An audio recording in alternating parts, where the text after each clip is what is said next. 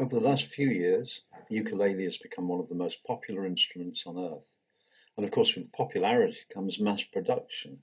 There are lots of cheap ukuleles around which don't perform well. They have push through pegs which don't stay in tune, poor intonation.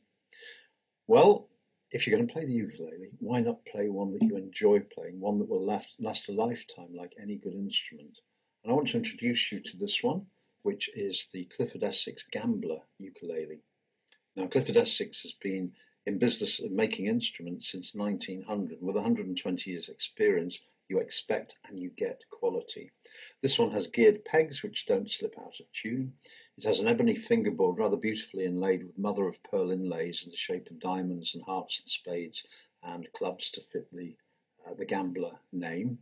The body's made of mahogany, nice uh, binding, herringbone binding, a rosette around the, the sound hole here and then around the edge.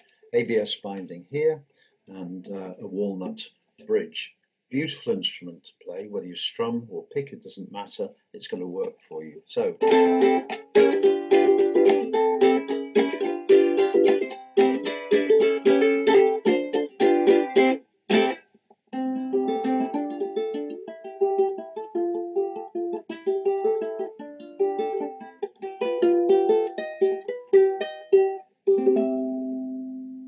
It also comes with a solid shaped case, so no more throwing the gig bag, in, bag into the back of the car and having the instrument smash inside.